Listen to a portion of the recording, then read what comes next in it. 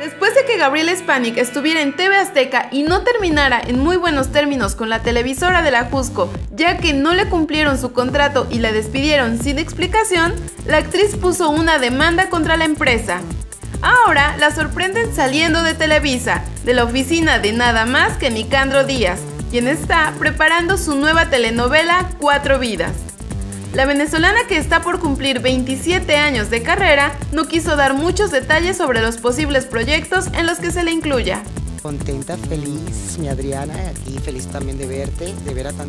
Obviamente no estoy vetada, estoy aquí, este, a ver cómo están las cosas, escuchar propuestas, que Gabriela es una niña querida por el público, que los amo, que ya la gente, el público le urge verla en la pantalla, ¿Qué opinas de que Gabriel Spanik regrese a las telenovelas? Déjanos tus comentarios, si te gustó el video dale like y suscríbete.